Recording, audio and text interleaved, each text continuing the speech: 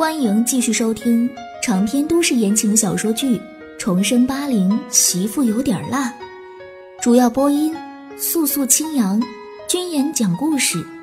喜欢本故事，记得订阅和关注，感谢您的收听。第一百五十三集，一个女人呼痛，夏小兰的头也痛，她还以为又是谁家来帮忙的女人。抬头一看，却是一家子站在门口。三十多岁的女人，有点眼熟。夏小兰敢肯定自己没见过。女人剪着齐耳短发，脸上还抹了粉儿，身上穿着一件深蓝色的毛呢大衣，不像是乡下妇女。夏小兰张张嘴，到底没叫出声。女人仔细一看夏小兰，反而把她给认出来。夏小兰，你傻了，亲姨都不认识，你妈就这样教你的？夏小兰总算把那怪异的熟悉感和眼前这女人给匹配上，可不就是她那个嫁到临县去的小姨刘芳吗？夏小兰记忆里，上次见这个小姨还是六七年前，一下子她愣是没给认出来。刘芳都有好几年没回娘家。不知道的人还以为她是嫁去了千里之外呢。夏小兰这一怔，刘芳已经挤过她走进屋。小姨父板着脸，看上去颇有威严。记忆中，小姨父梁炳安是国家干部，几年没见，人家官儿或许更大了，有点架子也是应该的。姨父，您往里面请。梁炳安听见夏小兰叫他，才点点头。你们表姐，快叫人。刘芳和梁炳安生了一女一子，女儿梁欢比夏小兰小两岁，已经是亭亭玉立的少女；儿子梁宇今年才十一岁，三四岁时见过夏小兰，早对这个表姐没了印象。但夏小兰简直是他见过最好看的人，穿的也好看。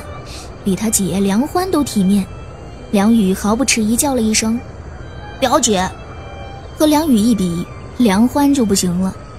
十六岁算是大姑娘，梁欢自视甚高，没想到被几年不见的乡下表姐给比了下去。他把头扭到一边，跟着父亲梁炳安进了屋。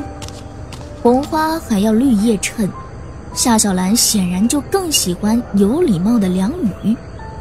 梁宇缠着夏小兰问：“为啥之前没见过表姐？”夏小兰说自己住在乡下，和梁宇家离得远。梁宇满脸不信：“表姐才不是乡下人，我妈说乡下人都又穷又脏。”夏小兰无语：“小孩子懂啥？还不是大人教的。”记忆中，小姨刘芳的确是嫌贫爱富，都几年没和娘家走动了。不知道忽然回七景村干啥？夏小兰领着梁宇进屋，有亲戚上门，她肯定不能再去找陈庆。先进屋的刘芳有点呆呀，倒没想到今天刘家有这么多人在，杀鸡宰鱼的，看来是要吃团年饭。她想起了自己上次回娘家，大哥刘勇去邻居家借了一只鸡回来待客。让她在丈夫梁炳安面前很没面子。那顿饭吃到一半，兄妹俩就吵了起来，两家人不欢而散。刘芳赌气，连饭都没吃完就走，一晃好几年，和娘家的兄姐全断了来往。哎，这次回来，怎么好像有点不一样了？杀鸡宰鱼的，还有这么多村里人来帮忙。看上去挺兴旺，刘芳有点讪讪的叫了声大哥，刘勇把手里的鸡肠子扔下，原来不是看花眼睛，是他小妹刘芳回来了。刘芬性格柔顺，刘芳却很泼辣，两姐妹间但凡有利益相争，吃亏的总是刘芬。刘勇对刘芬自然更偏爱，但好几年不见刘芳，别管当初兄妹俩吵得再厉害。刘芳主动回了娘家，刘勇肯定不能再计较。凤梅、阿芬，你俩快出来，小芳回来了。李凤梅早就在厨房里听见了。要说刘家所有人里，她从前就是和刘芬不亲近，可最讨厌的就是刘芳。刘芳上次回娘家吵翻天呐，就是李凤梅刚生儿子刘子涛的时候，好好的喜事，被刘芳搞得不欢而散。李凤梅烦死这个趾高气扬又嘴贱的小姑子了。不行，不能生气，大过年的，还有这么多人看着呢。李凤梅挤出一个笑脸，和刘芬一起放下手里的活嫂子、二姐，小芳回来了呀。刘芬是真高兴，她也有好几年没见小妹，不想念才怪呢。刘芳这次回娘家，大半原因就是为了二姐刘芬。看刘芬比记忆中老了些，精神头却还不错，又有外人在场。刘芳暂时忍下一肚子的话。夏小兰几人都忙着接待大稀客，把刘芳一家人招呼到堂屋里住。夏小兰给梁炳安泡了一杯茶，又抓出许多糖果瓜子让梁欢姐弟吃。来，你们随便吃啊。梁秉安等夏小兰转身去拿烤火的小炉子，把茶端起来闻了闻。嗯。